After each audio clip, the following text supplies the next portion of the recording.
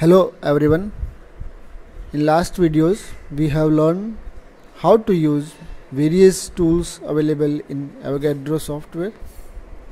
In this video using these tools we are going to build different class of chemical substances including inorganic compounds, organic compounds, biomolecules, substances which are used in material sciences. Let us starting to build boron trifluoride. So first I am going to select the boron from drop down menu. Now click on the display panel boron is there so BF3 has a boron atom with three outer shell electrons in its ground state and three fluorine atoms containing seven outer electrons.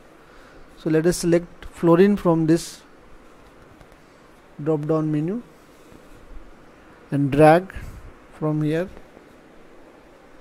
one more. Now we have three fluorine atom attached to the boron atom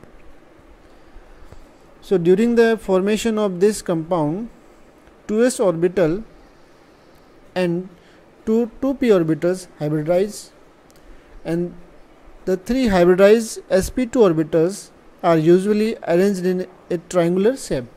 So let us see whether it will be arranged in triangular or not. So click on the auto optimization tool already force field selected universal force field that is appropriate for the inorganic type of material. So we are now going to start auto optimization. So within a fraction of seconds it is auto optimized. Now let us select uh, the navigation tool and we have to check this whether it is planar or not. So it is perfectly planar all three fluorine atoms are in the plane. Now if we suppose click on the measure tool so before that we have to stop the auto optimization. So now we can measure the angle by using the measure tool. So click on this fluorine atom then boron. Sorry. It is perfectly 120 degree. So boron trifluoride has basically triangular shape. Let us now draw nitrogen trifluoride. So first I'm going to select nitrogen then click on the display unit. Now then select fluorine then click and drag. Click and drag. Click and drag. So this is our nitrogen trifluoride. So first we will go to the auto optimization tool. Universal force field is already selected so start the auto optimization. Very soon we are getting the optimized geometry. Let us click on the navigation tool. So if we see through this navigation tool then we find that molecule has a planar shape. But as we know that nitrogen trifluoride is not planar basically it is pyramidal. So this optimized geometry is basically correspond to the local minima not it is global minima. So for getting the global minima we have to manipulate the atom. So for manipulation let's I'm again selecting the navigation tool and then select the manipulation tool so by selecting this manipulation tool you can change the plane of the molecules.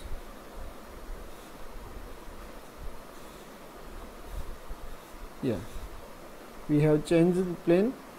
Now again we will auto optimize it. To start the auto optimization and within fraction of seconds it will it will auto optimized. Now stop the auto optimization and click on the navigation tool and rotate this. Now you can see that molecule is in the pyramidal shape and this is the global minima of this particular molecule. So, in the molecular mechanics you should know the starting geometry of the molecule or compound otherwise you will not get the perfect geometry. Now we are going to build triphenyl phosphine. Synthesis of uh, triphenyl phosphine involves reaction between phosphorus trichloride, chlorobenzene and sodium. So first we are going to select draw tool and select already selected phosphorus from the drop down menu. So click on the screen. Now next select carbon from drop down menu. Then click and drag. Click and drag. Click and drag. Now prepare a ring including these carbons. So click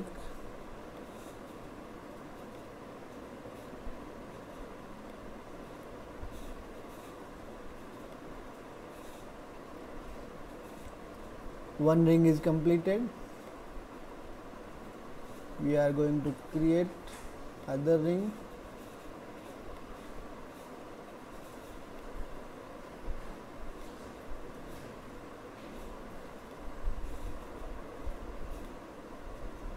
This can be easily done by holding down the left mouse button and drag it So, now our structure is ready. So, triphenyl phosphine crystallizes in uh, triclinic or monoclinic modifications. So, in both cases the molecule adopts a pyramidal structure with the propels uh, like uh, arrangement of the three phenyl groups.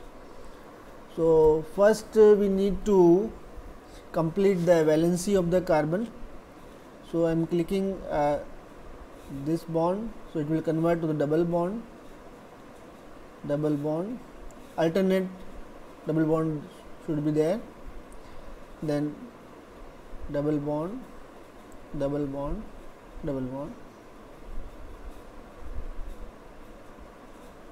Now, we have created all alternative single or double bond now we have to adjust the valency of the carbon with the hydrogens. So click on the check button adjust hydrogens. Now click on the carbons. So it will automatically add carbons.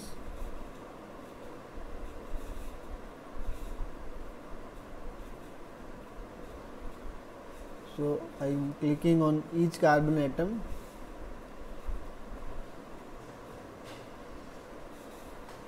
once I go to the navigation tool and reduce the size yeah it's now perfect. So first uh, we will go to the auto optimization tool. Force field universal force field is already selected. And click on the start button.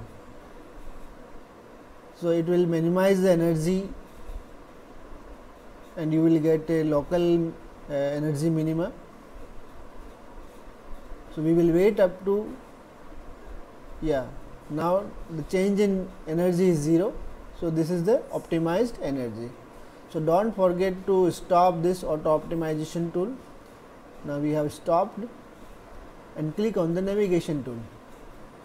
So, if I see this is a perfectly planar structure this is a perfectly planar structure uh, but we know that triphenyl phosphine uh, adopt a structure uh, just like a pyramidal uh, with the propels like uh, arrangement of the three phenyl groups.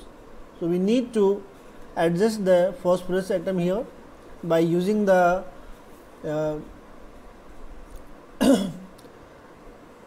tool available in this Avogadro.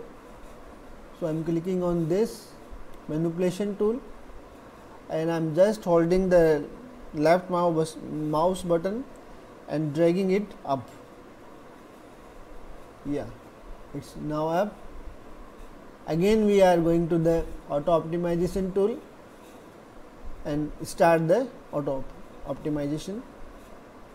Yeah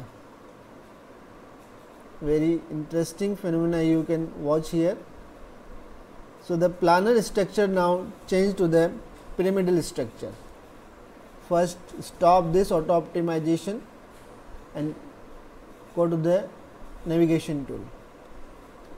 Yeah, this is now perfectly.